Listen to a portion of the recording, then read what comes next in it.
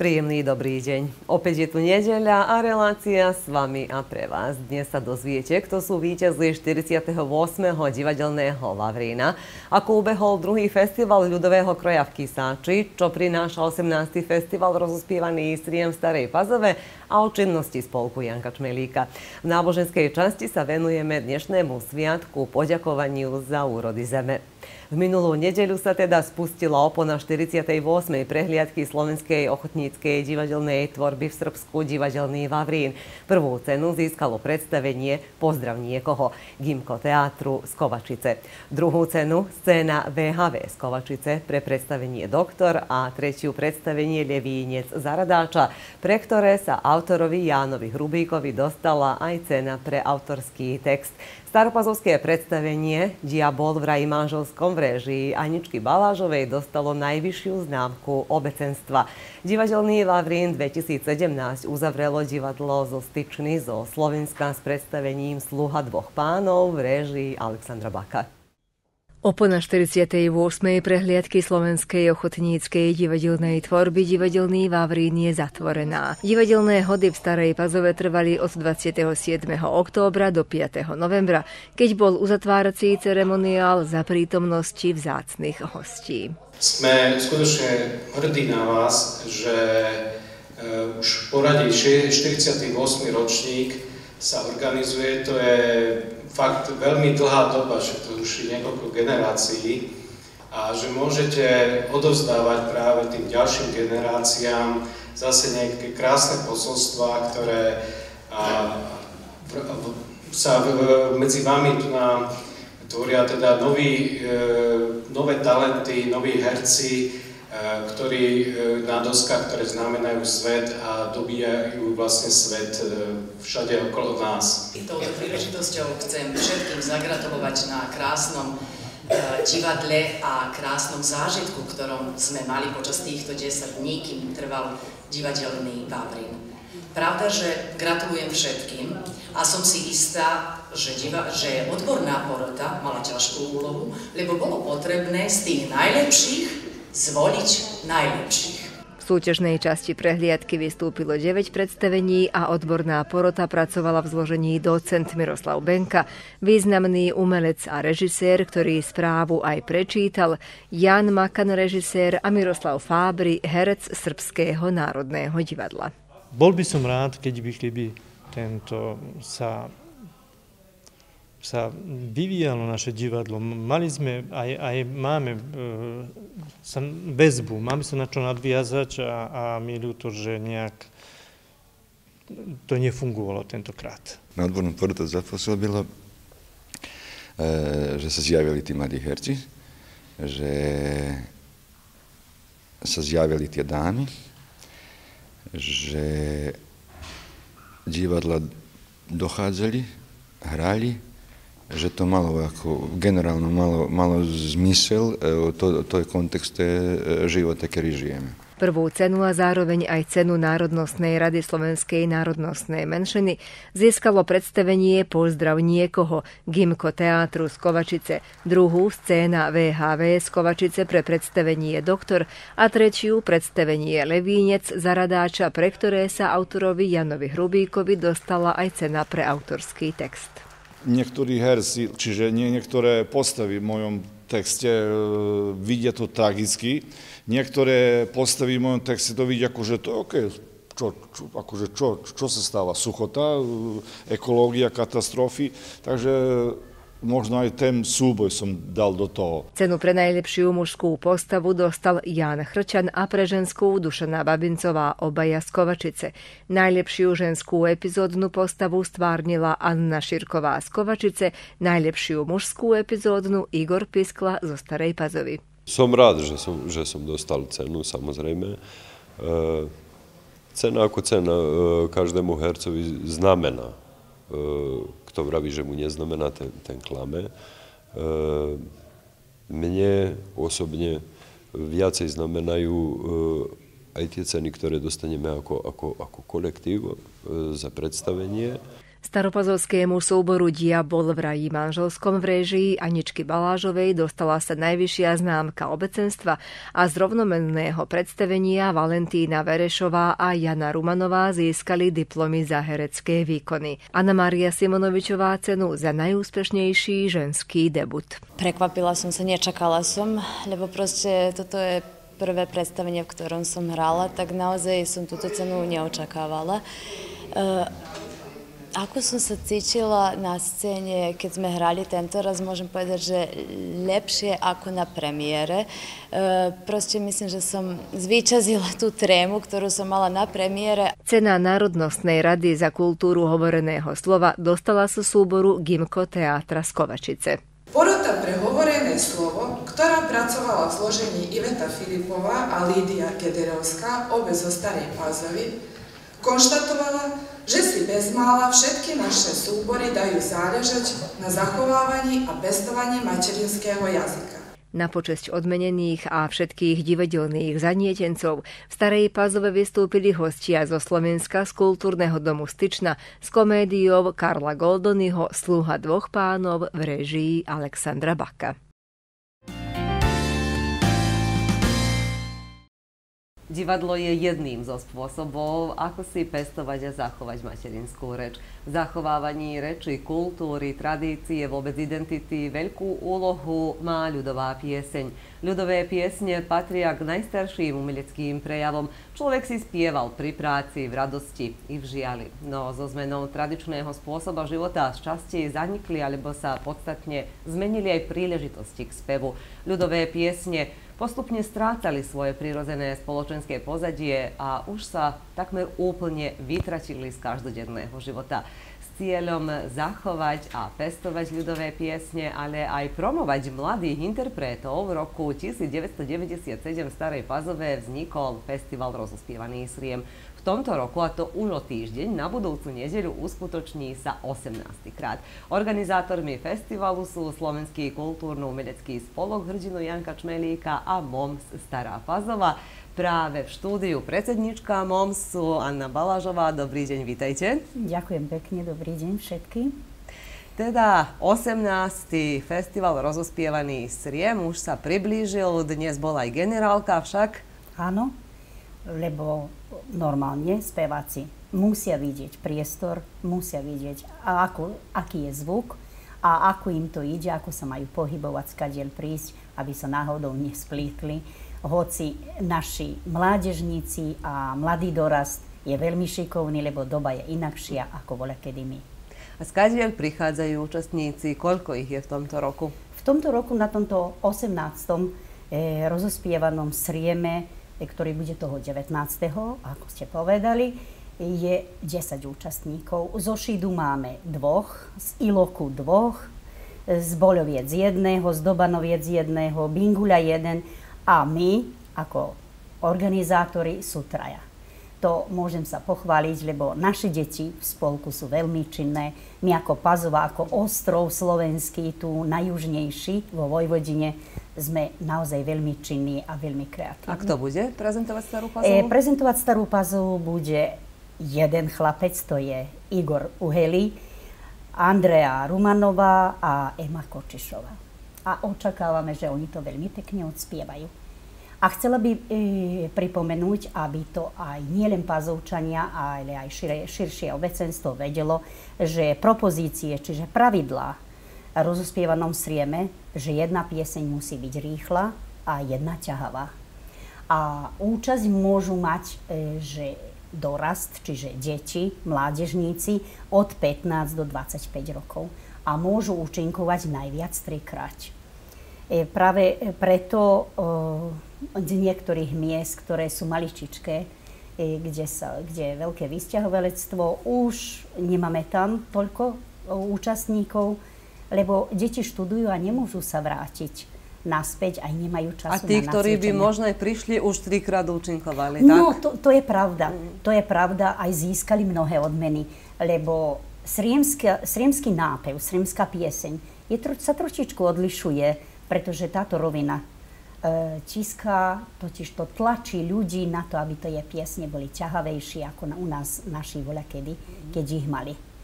Takže môžem povedať, že toho roku je to úspešné a očakávam, že budú aj úspešní účastníci, ktorí tu účinkujú. A e, tiež môžem povedať, že našli sme, lebo my máme normálne aj dorast v spolku, ktorý nás reprezentuje, čo sa týka e, folklóru, čo sa týka orchestru. Takže orchester bude náš pazovský pod vedením Vladimíra Forgáča. Tak očakávame, že obecenstvo toho 19. o, 9, o 19. hodine, čiže 7 večer, naplní sieň a stupenky si môžu kúpiť už u Vlada Popa u nás v spolku. U tajomníka spolku. Áno. Tento festival okrem toho, že je významný z tej strany, že sa prenáša tá e, tradícia z generácie na generáciu, sa promujú mladí interpreti ľudových piesní, významný je vlastne kvôli tomu, že oživuje niektoré staré, pomaly už aj zabudnuté piesne, e, ktoré si zvolili pazovskí speváci. Vieme, že to hlavne naozaj bývali piesne, na ktoré e, sme už pozabudli, alebo ktoré poznajú iba veľmi, veľmi staršie generácie. No, môžem pripomenúť, že sú to veľmi starodávne piesne, tiež e, zvlášť tie ťahavé, ale e, chcem ešte pripomenúť, že staropazovčania majú aj specifický kroj, lebo aj kroj sa bude oceňovať. Čo znamená, že budeme mať taký spektr E, farieb, e, krojov na tej bíne a staropazovčania tiež budú mať e, starodávny kroj na sebe.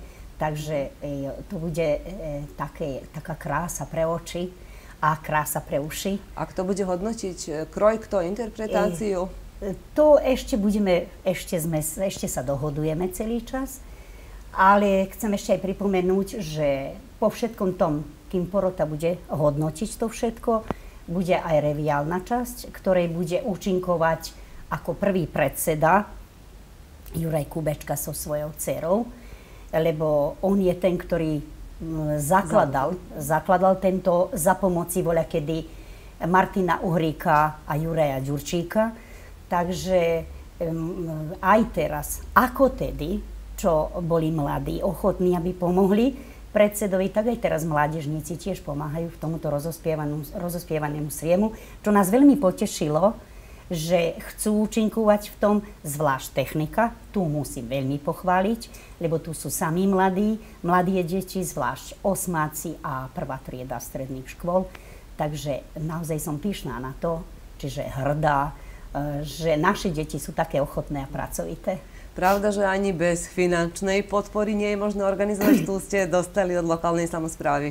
Áno, tu sme písali projekt, takže môžem povedať, že lokálna samozpráva nám vyšla v ústretí, totiž projekt schválila. Takže môžeme aj e, za účasť MOMSu tiež s dielom, ktorý, koľko máme peniazy. A tiež niektoré súkromné organizácie a súkromné firmy, ktoré nás podpomáhajú v tomto, aby, lebo bez peňazí dnes sa nič nemôže. E, tento festival, ako som aj ja úvodom povedala, aj vy ste pripomenuli, vznikol v Starej Pazove, založil ho teda Juraj Kubečka predovšetkým e, v tom roku 97.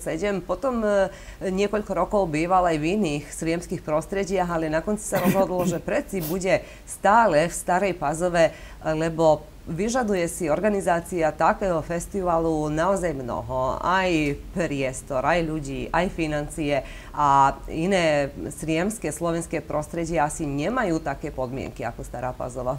To, to je pravda, čo ste e, spomenuli, ale môžem povedať, že napríklad e, sú aj robíme výnimky, ale to celý e, výbor musí zasadať, aby sa taká výnimka urobila, ako čo to bolo v Lani, keď bolo v Lúgu lebo oni oslavovali osídlenie svojho mesta.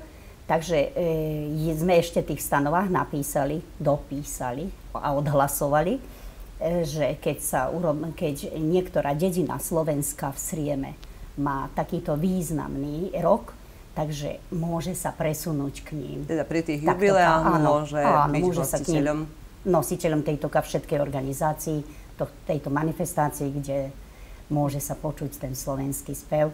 A môžem povedať, že tie slovenské piesne proste idú do toho srdca. Nie, že je to moja materčina, ale sú spevavé, aj všetci Slováci sú spevaví a očakávam, že aj naše deti, ktoré účinkujú, pekne sa tu plasírajú a že budú, získajú niektoré miesta. Niekoľko významov tohto festivalu už som spomenula. E, v čom je podľa vás ten najväčší význam, najväčšia hodnota tohto festivalu? Význam festivalu je v tom, že všetci ľudia si spomenú pod jeden na tie starodávne piesne. Na tie starodávne slova, tie archaické, ktoré už možno ani nepoužívame v rozhovore. A tiež e, môžu sa kochať e, v starodávnych krojoch, ktoré naše mamky a prababky nosili.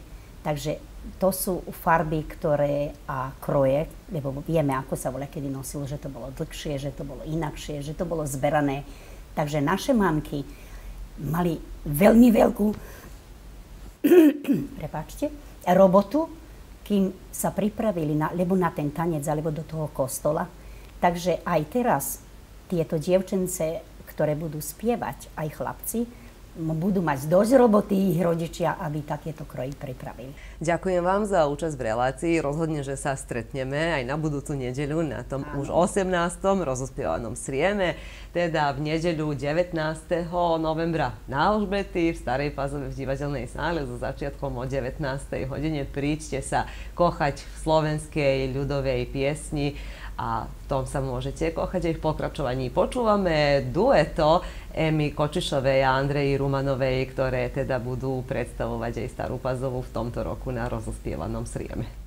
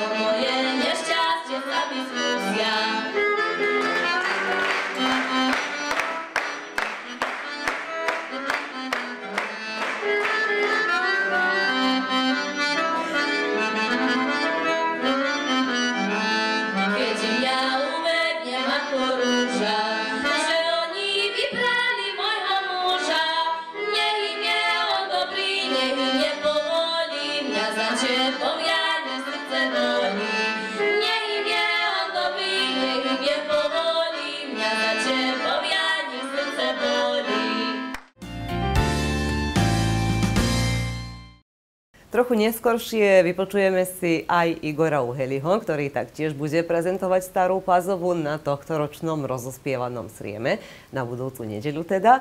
A teraz si pozrieme, aké sa aktivity uskutočnili v tomto roku a čo nás to ešte do konca bežného roka očakáva, keď ide o činnosť Slovenského kultúrno-umeleckého spolku Hržinu Janka Čmelíka v Starej Pazove, o čom rokovala aj správna rada. Na zasadnutí správy Slovenského kultúrno-umeleckého spolku hrdinu Janka Čmelíka v Starej Pazove jednou z tém boli aktivity tohto kultúrneho stánku, ktorých bolo neúrekom aj počas letných mesiacov a v ktorých účinkovali všetky programové formy. Keď by som teraz začala spomínať aktivity, asi by som polovičku aj zabudla. Keď ide o folklór, znamená aj tie najmenšie skupiny, zúčastnili sa na mnohých festivaloch. Tá najstaršia, tá naša špičková skupina zúčastnila zúčastnila sa aj na festivale na Slovensku, tiež na festivalu u nás v Srbsku.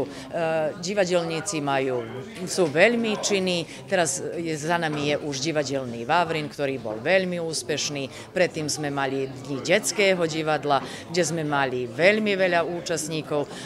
Bol to ozajstný divadelný víkend v tom júne, kde sa zhrnuli všetci divadelníci, tí najmladší. Sú to síce amatéri, ale verte mi, že zahrali ako profesionáli. Na divadelnom Vavrine sme mali 9 súťažiacich divadelných predstavení. E, naozaj staropazovčania mali dôžitok každý večer pozrieť si dobré divadelné predstavenia touto príležitosťou sa im všetkým poďakúvam a ďakujem staropazovčanov, že podporili činnosť divadla. No teraz nastupuje napríklad rozospievaný Sriem, je to manifestácia, ktorá nás očakáva 19. novembra a zároveň využijem príležitosť vyzvať všetkých staropazovčanov, aby prišli podporiť našich mladých nádejných spevákov. V predošlom období sa aj investovalo do budovy spolku. Snažili sme sa vymeniť tu okna, dvere vchodné, ktoré to nám veľmi veľa znamená, lebo už boli v zlom stave. Sme líčili miestnosti, kancelárie sme trošku vynovili, kuchyňu sme si uschopnili, lebo ako aj sami vidíte, je tu veľa manifestácií a naše združenia žien je veľmi aktívne a vo všetkom tom účinkuje a chystá naše tradičné jedlá pre všetkých účastníkov. E, dali sme si tu aj systém alarmov, asi teraz budú aj kamery za pomoci miestneho spoločenstva. E, tiež sme dali aj pre vchod pre invalídov, aby mohli vojsť do týchto našich miestností. Vlastne e, potom etnoizba je tiež zriadená, Združenia žien to samé zariadilo izbu, vylíčili, vykalili, vymenili, čo bolo potrebné. Snažíme sa vkladať do tohto nášho domu, aby, lebo musí sa udržiavať. Na to sú potrebné určité si finančné prostriedky. Máme ich nikda dosť. Snažíme sa ich dostať za, ďakujúc rôznym projektom, rôznym donátorom. Do konca roka je naplánované ešte rada aktivít a programov, ako sú začiatkom decembra memoriál Juraja Ondríka, kamarátenie a darčeky pre deti a rok by sa mal ukončiť ako aj vždy Vianočným večierkom.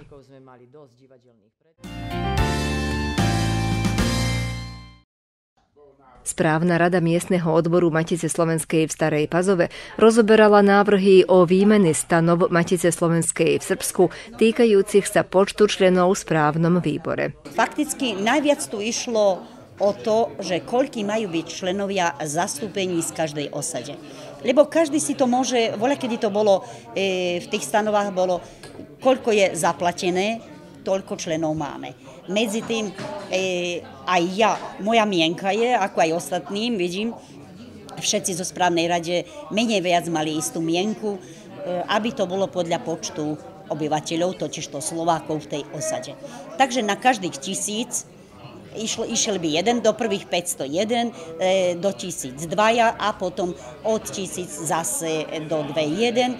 Tak závisí od toho, koľko kto má počtu obyvateľov, ale Slovákov. Takže, a tie menšie monzy normálne, tie, to je do 500 Slovákov, tu, tu by bol predstaviteľ jeden. Aj samým tým, také tele sú menšie, oveľa rýchlejšie sa aj zinde, oveľa menej e, je tu finansijských e, e, výdavkov, samým tým rýchlejšie to bude aj predsi na čím prísť do toho Barského Petrovca. Zasadnutie ústredne tejto strešnej organizácie Slovákov bude na budúci týždeň a Staropazovský MOMS rozoberal aj požiadavku o podpore pri nakrúcaní dokumentárneho filmu o spolunažívaní Slovákov a Srbov v tomto meste, a ktorý pripravuje režisér Miroslav Benka.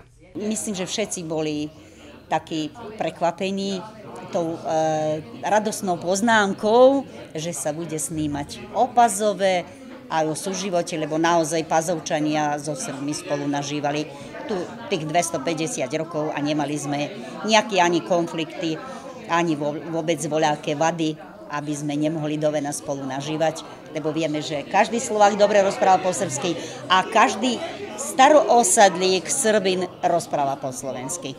Takže to je to. Tak to sú tie hlavné body teda v tomto programe tohto zasadnutia. A záverom bolo ešte počuť, že vlastne e, čoskoro tlačov by mala výjsť monografia o Čmelíkovej škole. To bolo ako pod bod, e, bod rôzne a všetko závisí od financií. lebo financie sme, projektom sa to písalo, aj na pokrajinu, aj na e, matičné, ale peňazí nebolo. Nie sú schválené projekty, tak očakávame, že nám obec ako aj vždy pomôže pri tom a že monografia vyjde. Publikácia o Pazovskej slovenskej škole, ktorá je spoločným projektom MOMSu a školy, mala by výjsť tlačov do konca roka.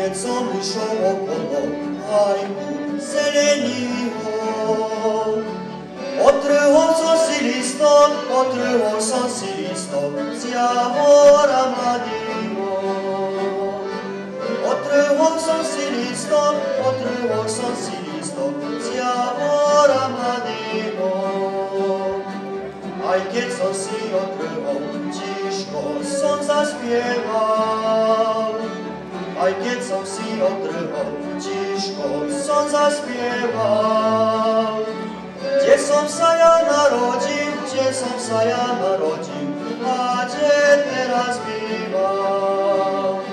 Gdzie sam sa ja narodzim, gdzie?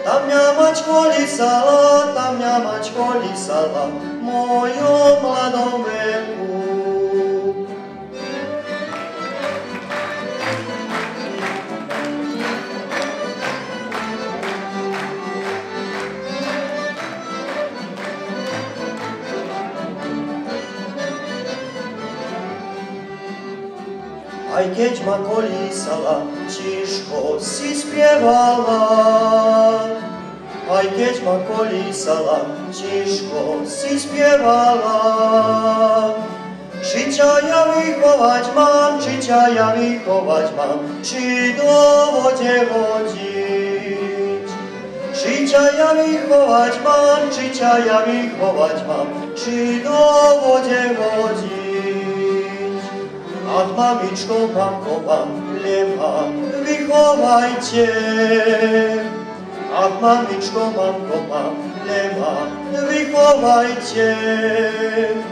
A keď ma vychováte, a keď ma vychováte, na vojnu ma dáte. A keď ma vychováte, a keď ma vychováte, na vojnu ma dáte.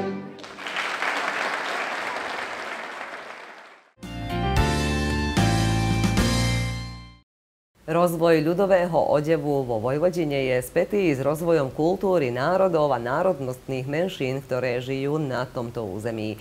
Ľudový odev vo Vojvodine má celkom rozličný pôvod a tak poznáme ľudový odev slovenského, uhorského, romanského, germánskeho pôvodu. Pri osídľovaní týchto krajov Slováci prinášali so sebou i časť duchovnej a materiálnej kultúry. V novom prostredí sa snažili prispôsobiť na nový spôsob života a zároveň zachovať si svoj jazyk, obyčaje a ľudový odev, čo znamenalo zachovať si ľudový odev, svoju identitu v multinacionálnom prostredí. Slováci vo Vojvodine si dodnes zachovali svoj tradičný ľudový odev. Zachovaniu ľudového odevu mal by prispieť aj festival slovenských ľudových krojov v Kisáči, ktorý sa v minulú sobotu uskutočnil druhýkrát, keď viac ako 100 účastníkov predstavilo kroje vojvodinských Slovákov z minulého storočia.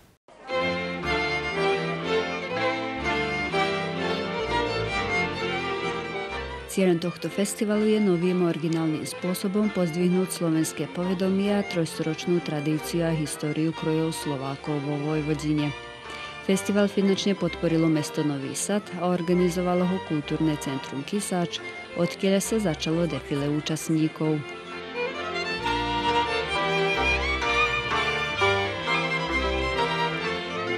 Druhý festival Slovenského ľudového kroja Slovákov vo Vojvodine. Úspešné defile za nami. Ako ste videli, tu vnútri bolo viac ako 100 modeliek z viac ako 17 prostredí. E, prišli aj nejaké, ktoré nie sú prihlásené, tak nás aj to teší, že sa ďalej pri, nebudú v programe, ale prišli oblečené do krojov, takže sme hrdí na to. E, ako vidíte, sme doniesli knihu, po celom kysáči sme ju spreviedli, dali sme ju do Baranča a teraz o 6. gala programe ju vyniesieme a pokrstíme túto knihu. Krstní rodičia tohto, e, tejto knihy sú primátor mesta Nový Sad, Miloš Vúčevič, ktorý zabezpečil všetky tieto prostriedky pre takýto veľkolepý až noblesný festival. Počas gala programu prezentovali aj fotomonografiu Slovenská krása v slovenskom ľudovom kroji dvoch kisárskych autorov Branislava Kokavca a Pavla Surového. Týmto kapitálovým dielom chcú priblížiť slovenskú kultúru a tradície srbskému národu a ostatným národnostiam vo Vojvodine. Kniha má dve vydania, srbské a srbsko-slovenské.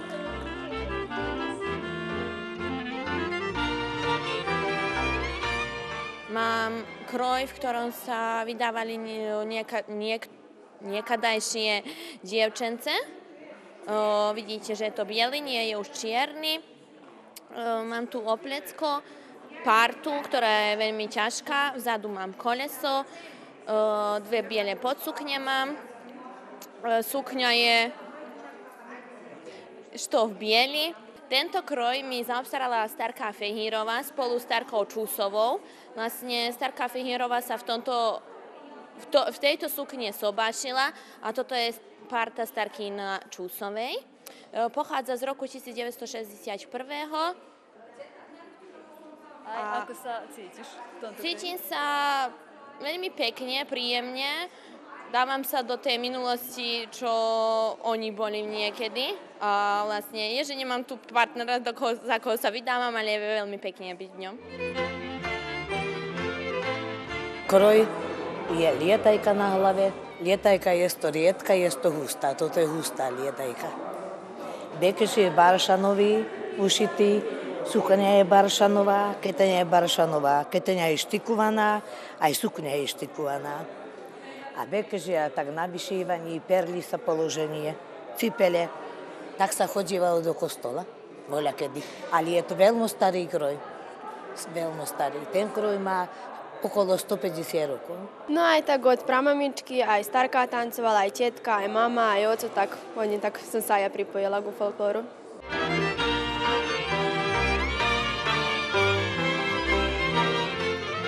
Môj kroj Uh, on pochádza zo 40.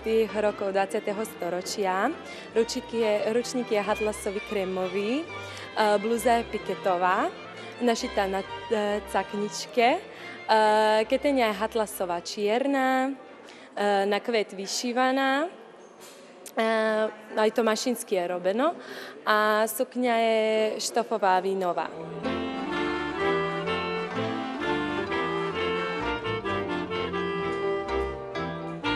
Na sebe mám e, kroj, ktorý je z 50 rokov. E, na hlave mám grajcovaný čepec, grajcovaný veselý čepec. E, aj tu mám dilinku, aj hor blue spray. Kto ťa obliekol do kroja aj vlastne odkiaľ si tento kroj? E, kroj je od mojej starej mame. E, obliekala, obliekali ma teta Lešová aj teta Viljačikova. Na sebe mám plišovú košelju, a i hatlasku. Nosili sa 1950-ih e, za svetočne priležitosti. To som prvi raz, zaujímavé je. Rada sa objekaš do kroja? Áno, kedy god môžem. Na módnej prehliadke starých slovenských krojov, ktorá nasledovala po gala programe, sa predstavili chlapci a dievčatá z takmer všetkých našich prostredí. Všetky kroje hodnotila trojčlená porota. Kroje sa oveľa kvalitnejšie ako čo boli v Lani. aj viac účastníci, účastníčke, aj sa veľmi zaujímavé kroje. Bude robota, kým my to všetko oceníme. Kysačanky sme najviacej obliekali do každodenného kroja. Lebo vidíme, že všetky tieto e, najviac do súčasného, akože starého, ale je to všetko oblie, e, spravené už po novom. A my sme chceli, že by to, lebo sme si tak povedali, že budeme obliekať dievčatá do 1950. roku. A ktorá tak nebude oblečená, tak nebude, e, e, nezíde do, do užšieho kruhu.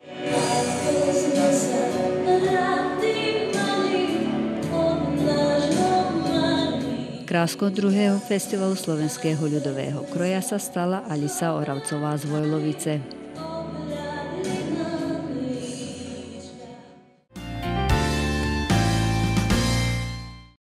V dnešnej uponáhľanej dobe sa na ďakovanie často zabúda. Bohoslužby v slovenskom evanielickom kostole v Starej Pazove sa dnes niesli v duchu tohtoročnej úrody. Aj kostol bol netradične vyzdobený plodmi z osadov, záhrad a polí. Vážení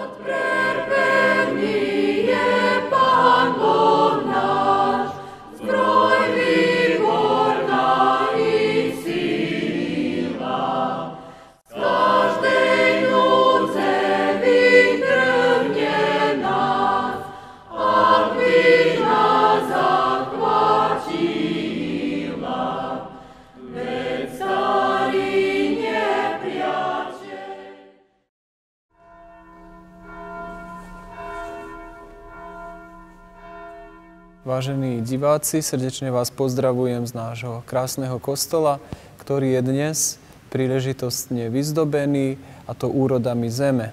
Dnes sa chceme spoločne ako ľud Boží v Starej Pázove poďakovať Pánu Bohu za požehnanie úrod zeme. Chcel by som prečítať zo žalmu 65.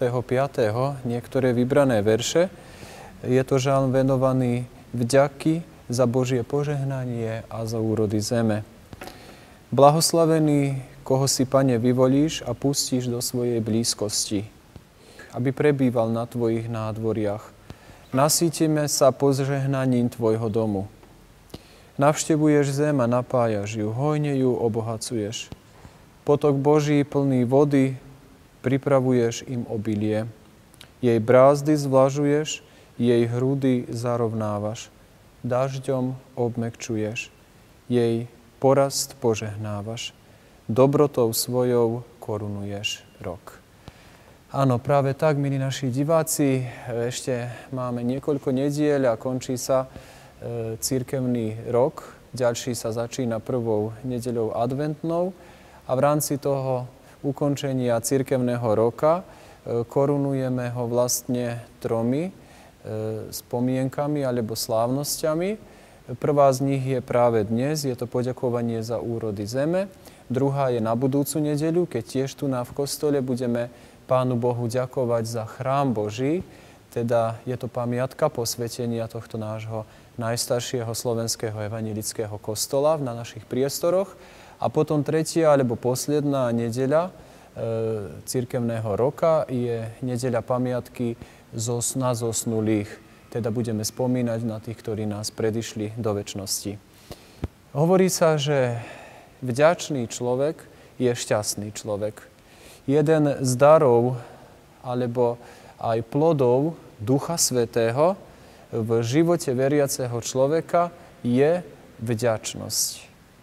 Vďačnosť, na ktorú často zabúdame, lebo sme tak vedení v dnešnej dobe a v duchu času, v ktorom žijeme, na všetko nadávať, hundrať, hľadať chyby a nejak málo mám dojem, vieme pochváliť, vieme sa poďakovať, vieme si všimnúť tie požehnania, ktoré v živote máme. Teší ma, že práve církev ako Božia inštitúcia a církvou to sme vlastne všetci e, veriaci a konajúci Božiu vôľu, Božiu lásku. Môžeme vás všetkých pozvať k tomu, aby sme sa zastavili dnes, aby sme si všimli tie krásne e, plody, ktoré sa narodili, ktoré rástli v hrudi zeme a všimnúť si aj tú Božiu kreativitu na nich. Tie všelijaké tvary tých rastlín ich plodov, tie všelijaké farby, tie všelijaké vône, tie všelijaké chuti. A čo je tam ešte v tých plodoch, aké všelijaké potrebné látky pre náš telesný život, organizmus, aké vitamíny, minerály a neviem čo všetko. E, proste Pán Boh je pre nás ľudí nepochopiteľne kreatívny a len všetko viac a viac aj tí, ktorí skúmajú hĺbku e, podstaty materiálneho sveta, prichádzajú do údivu, koľko je ešte aj tam e, na tých najhlbších kvantoch, či ako to nazývajú proste, ešte všelijakých prejavov Božej kreativity, ako to všetko e, funguje. My ďakujeme Pánu Bohu, že aj napriek počasiu, ktoré bolo všelijaké, sa urodilo. Vieme, že v mnohých oblastiach aj menej, ako sa očakávalo, ale predsa pre tých, ktorí poctivo a usilovne pracovali, budú mať čo jesť vás srdečne povzbudzujem aj k tomu, aby sme z tých úrod zeme, aj zo všetkého, čo si vieme v živote zarobiť jednu časť, venovali aj pomoci tým, ktorí nie sú požehnaní. Najmä deťom, ktoré sú chudobné, ktoré často nie pre svoju vinu nemajú dostatok všetkého. Bol zvyk v Izraeli v starej zmluve, že desiatok všetkého, čo človek doopatroval, patrilo Eh, aj Božiemu dielu, teda chrámu, kde sa potom dávalo tým, ktorí boli menej požehnaní v živote a vlastne aj samotní kňazi, ktorí nesmeli vlastniť zem, žili z tých tzv. desiatkov.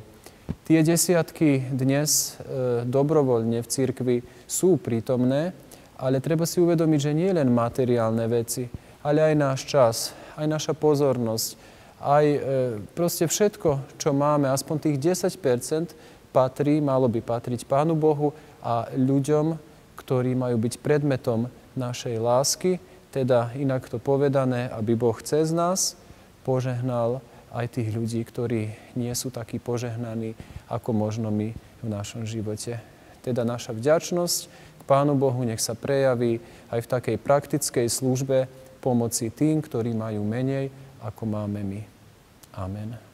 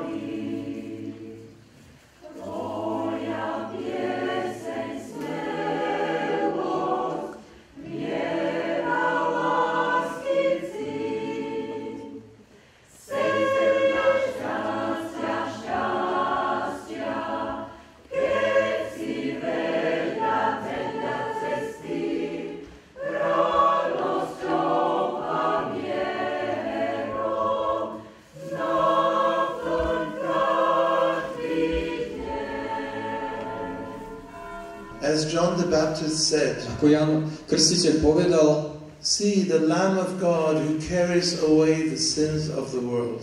pozrite, baránok Boží, ktorý odnáša hriechy sveta. Jesus is the Lamb of God who carries away the sin of the world. Ježiš je e, baránok Boží, ktorý sníma a berie na seba hriechy sveta.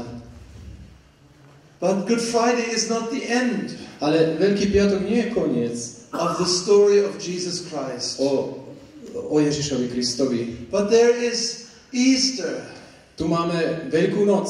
There is the Anastasis, the resurrection. Tu je vzkriesenie Anastasis po grécky. I had the opportunity of being in Jerusalem Mal som možnosť byť v. Jeruzaleme v rok dozadu. And I was close to the church of the Anastasis, which is the place where they lay Jesus in the grave. Bol som blízko kostola círk veľkého Anastasis, kde Ježiša, Ježišovo telo mŕtve položili do hrobu, But then he rose again on the third day. ale on v tretí deň vstal z mŕtvych. And when the patriarch of Jerusalem, the Greek Orthodox patriarch, comes out of the grave, Patriarcha Jeruzalemský the pri, grave vychádza, vychádza z toho kostola, ktorý je v kostole, vlastne kostola hrobu takzvaného, and he has the fire. a má ten oheň v ruky. And the fire spreads because everyone has A ten candles. oheň sa šíri, že všetci majú tie And sviece. he says, Christus aneste, A on hovorí Kristus a neste, which is Christ is risen. čo znamená Kristus je And vzkriesený. everyone responds, alete aneste. A všetci hovoria alete a neste, čo znamená naozaj je And, and vzkriesený. it goes in all the different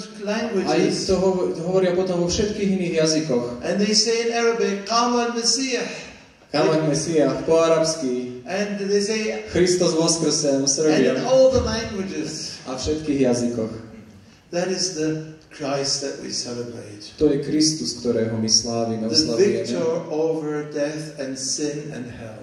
Víťaz nad smrťou, hriechom a peklom. We celebrate Christ. My oslavujeme Krista And all churches are together in celebrating Christ. a v tomto sú všetky cirkvy spolu, že oslavujú Krista. And we want to invite people, come and see Christ. A chceme pozvať ľudí, pozrite na Krista. See him there in the, in the manger on Christmas in Bethlehem.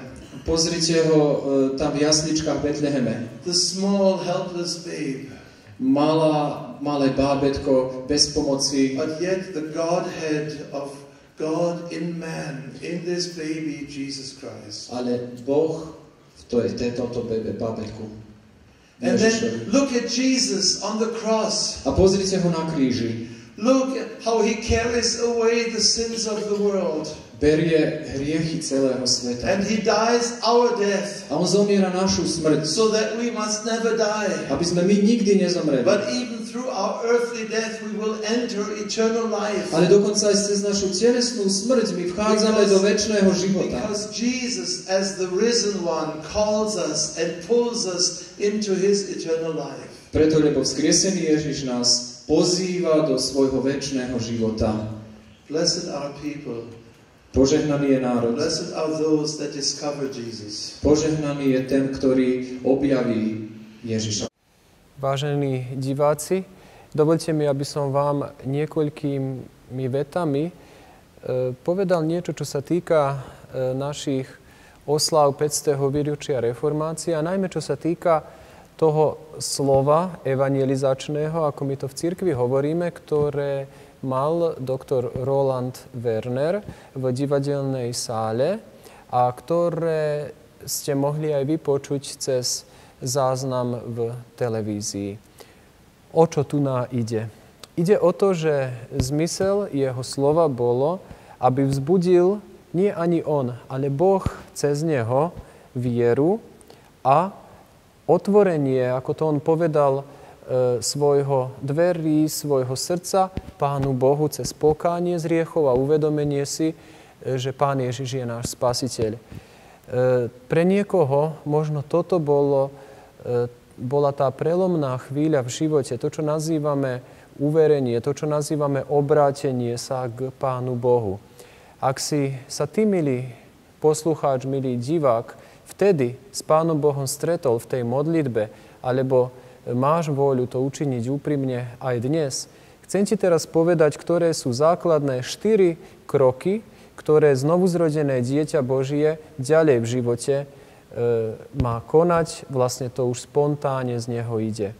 Pod jeden, zostať pri Božom slove. Veríme, že Biblia je Pánom Bohom inšpirovaná kniha a keď sa pomodlíme, poprosíme Ducha Svetého, aby nám otvoril myseľ, aby sme chápali, čo je tu napísané podľa duchovného pochopenia, tak sa očakáva, že denne aspoň jednu stať z Biblie si prečítaš, pouvažuješ, čo ti Pán Boh chcel z toho povedať a pomodlíš sa tým pôjdeš napríklad do dňa, ak to učiníš ráno. Ak pre teba je ťažko pochopiť Bibliu, sú aj také pomôcky, ktoré máme na fare, dokonca niektoré aj zdarma, také denné čítanie, kde je krátky biblický citát, potom vysvetlenie, eventuálne modlitba. To je tá naša duchovná strava, ktorú denne kresťan potrebuje. Druhá vec, veľmi dôležitá. Mnohí ľudia povedia, že e, ja si doma to prečítam, aj to stačí. Ale Božie slovo hovorí, že viera je z počutia a viera vzrastá a upevňuje sa, keď je to počutie v spoločenstve veriacich. Teda druhá vec je chodenie na služby Božie, e, na rané modlitby, na biblické hodiny. Proste tam, kde sa ľud Boží stretáva, kde spoločne spievame, modlíme sa, my vidíme všeobecne úpadok v našich cirkevných zboroch s návštevnosťou služieb Božích. A v evangelickej tradícii církev to sú ľudia, to nie sú budovy. Bez budov môžeme, aj keď sme vďační Pánu Bohu za ne.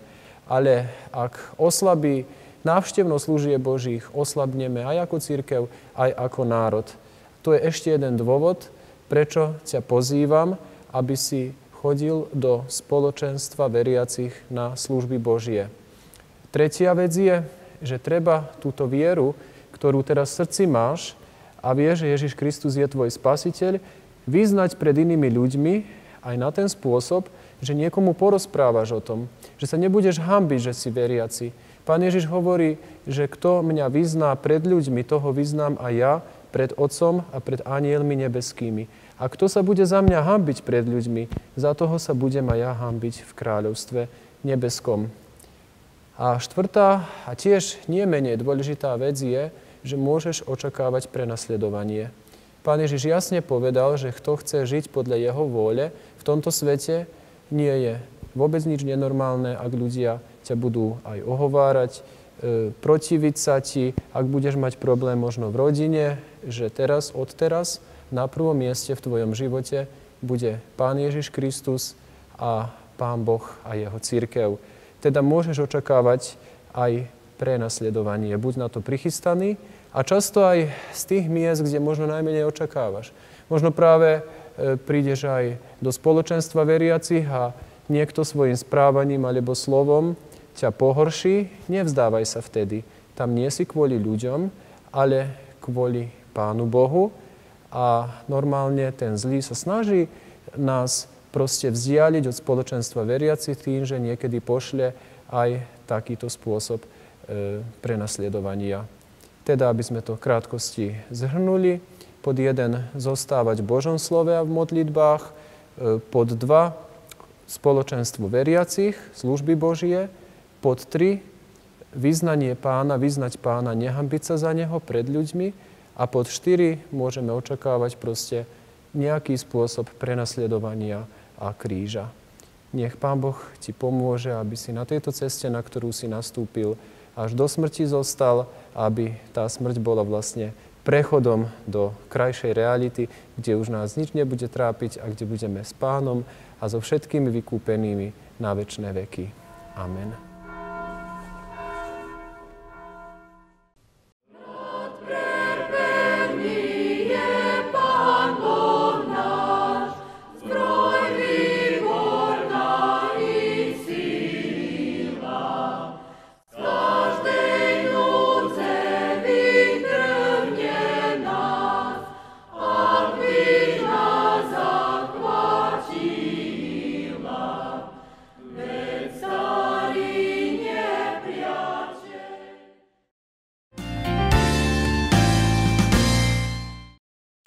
Dnešok nezaručuje zajtrajšok, hovorí čínske príslovie. Vám a nám spolu želáme istý zajtrajšok a aby sme strávili ešte mnoho nedelí spolu v relácii s vami a pre vás. Tešíme sa na vás už o týždeň. Dovidenia, majte sa krásne a všetko dobré.